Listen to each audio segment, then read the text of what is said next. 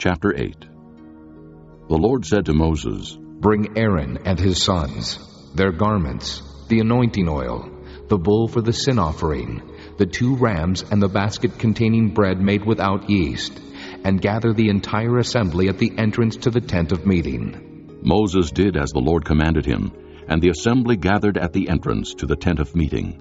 Moses said to the assembly, This is what the Lord has commanded to be done. Then Moses brought Aaron and his sons forward and washed them with water. He put the tunic on Aaron, tied the sash around him, clothed him with the robe, and put the ephod on him. He also tied the ephod to him by its skillfully woven waistband, so it was fastened on him. He placed the breastpiece on him and put the Urim and Thummim in the breastpiece. Then he placed the turban on Aaron's head and set the gold plate, the sacred diadem, on the front of it, as the Lord commanded Moses. Then Moses took the anointing oil and anointed the tabernacle and everything in it, and so consecrated them. He sprinkled some of the oil on the altar seven times, anointing the altar and all its utensils and the basin with its stand, to consecrate them. He poured some of the anointing oil on Aaron's head, and anointed him to consecrate him. Then he brought Aaron's sons forward, put tunics on them, tied sashes around them, and put headbands on them, as the Lord commanded Moses. He then presented the bull for the sin offering, and Aaron and his sons laid their hands on its head. Moses slaughtered the bull and took some of the blood, and with his finger he put it on all the horns of the altar to purify the altar. He poured out the rest of the blood at the base of the altar. So he consecrated it to make atonement for it. Moses also took all the fat around the inner parts, the covering of the liver and both kidneys and their fat, and burned it on the altar. But the bull with its hide and its flesh and its offal he burned up outside the camp, as the Lord commanded Moses. He then presented the ram for the burnt offering, and Aaron and his sons laid their hands on its head. Then Moses slaughtered the ram and sprinkled the blood against the altar on all sides. He cut the ram into pieces and burned the head, the pieces, and the fat.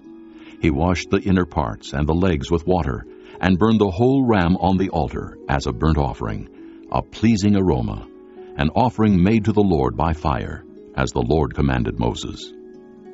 He then presented the other ram, the ram for the ordination, and Aaron and his sons laid their hands on its head.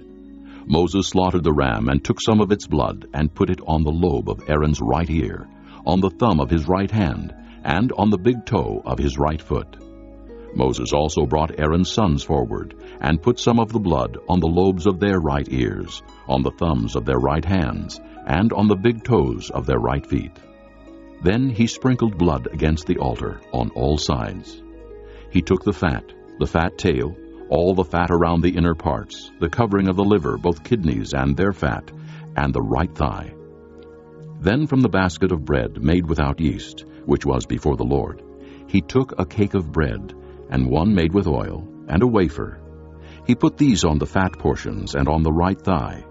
He put all these in the hands of Aaron and his sons, and waved them before the Lord as a wave offering.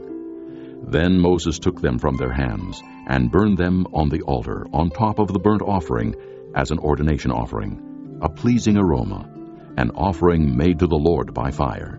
He also took the breast, Moses' share of the ordination ram, and waved it before the Lord as a wave offering, as the Lord commanded Moses.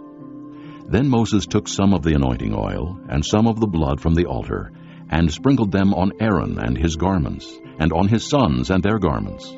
So he consecrated Aaron and his garments, and his sons and their garments.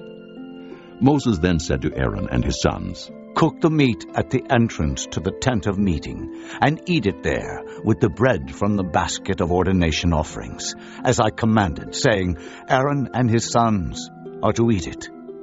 Then burn up the rest of the meat and the bread. Do not leave the entrance to the tent of meeting for seven days, until the days of your ordination are completed, for your ordination will last seven days. What has been done today was commanded by the Lord to make atonement for you. You must stay at the entrance to the tent of meeting day and night for seven days and do what the Lord requires, so you will not die. For that is what I have been commanded. So Aaron and his sons, did everything the Lord commanded through Moses.